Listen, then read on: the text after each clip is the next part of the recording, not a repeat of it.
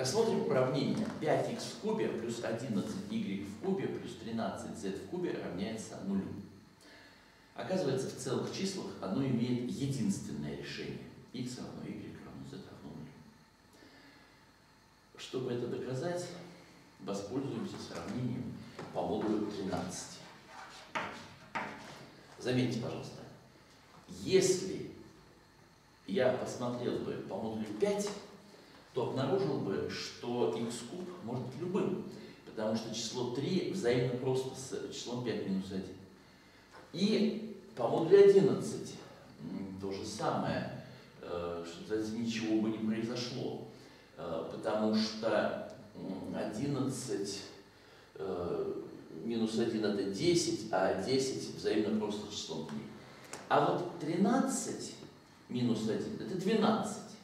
И поэтому кубов по модулю 13 существует всего 4 штуки. Есть два способа рассуждать. Для тех, кто знает э, малую теорему Ферма, рассуждение такое. Э, вот представьте себе, что хотя бы одно из чисел x и y не делится на 13. Тогда, переходя от уравнения к сравнению, мы получаем, что 5х куб сравнимо с минус 11y куб. Но что такое 5х куб? 13 минус 5 это 8, э, поэтому 5 это то же самое, что минус 8. А минус 11 это то же самое, что 2. Э, Делим на 2 э, и получается, что минус 4х куб сравнимо с y куб. Возводим в четвертую степень что тогда получается? Здесь будет y в 12, то есть единица. Э, здесь э, минус 4 в четвертой, x в 12. Так, что такое 4 в четвертой? Это 16 в квадрате. 16 помножить 13 это 3. Э, значит, я, да, кстати, не минус, а плюс, потому что я залил в четвертую степень. Э, значит, я здесь напишу просто-напросто 3 в квадрате, э, то есть 9. Э, ну, все.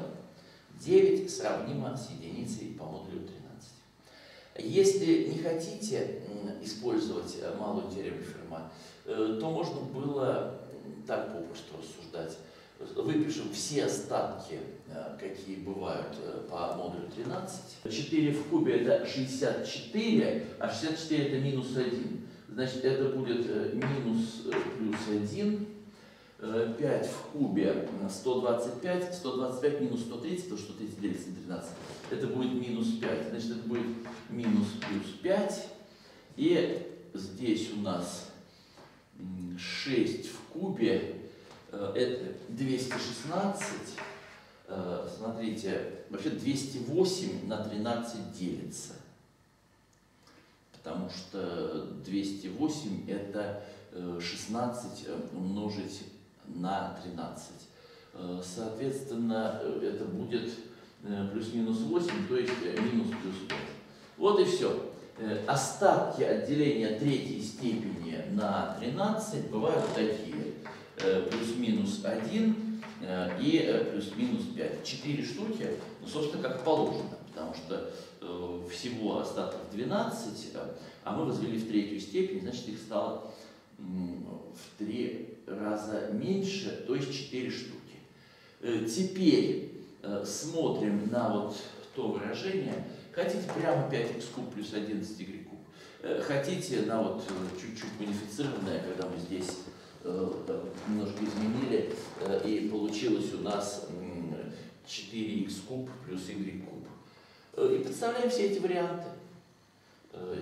И видим, что ничего хорошего не будет. Ну, в самом деле, нам что нужно? Нам нужно, чтобы y в кубе плюс 4х в кубе делилось бы на 13 вместо y куб и вместо x куб мы можем представлять плюс-минус 1 плюс-минус 5. Ну какие варианты? По единице будет 1 плюс-минус 4. Не делится. Э, сюда подставляем 5, сюда подставляем 1, будет 5 плюс минус 4, тоже не делится. Наоборот, 1 плюс минус 20 тоже не делится. Но когда пятерки, это то же самое, что единица.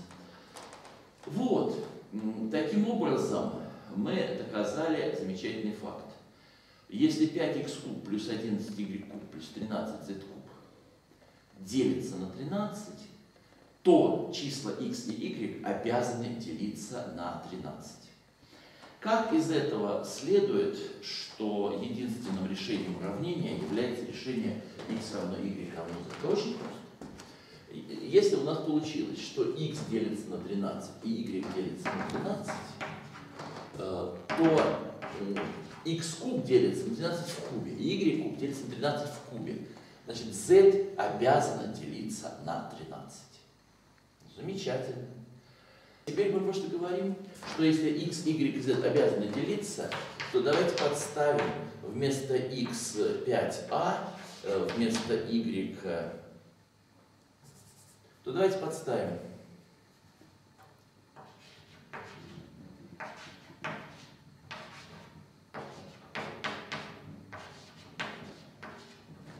Так, теперь мы говорим, если x, y и z обязаны делиться на 13, то мы можем подставить вместо x 13а, вместо y 13b, вместо z 13c. Подставили, вынесли 13 в кубе, разделили и получили такое же уравнение, только вместо x, y и z новые числа а, b, c. Называется метод бесконечного спуска. Мы еще раз ту же самую процедуру э, и получим, что а, b, c должны делиться на 13 и еще, и еще, и еще. И получится, что мы каждый раз все три числа делим на 13, а получаем решение уравнения в целых числах. Поскольку невозможно не нулевое число делить на 13 бесконечное число раз, чтобы оно при этом все время было целым, то единственный вариант это x равно y равно z равно 0. Единственный вариант x равно y равно z равно 0.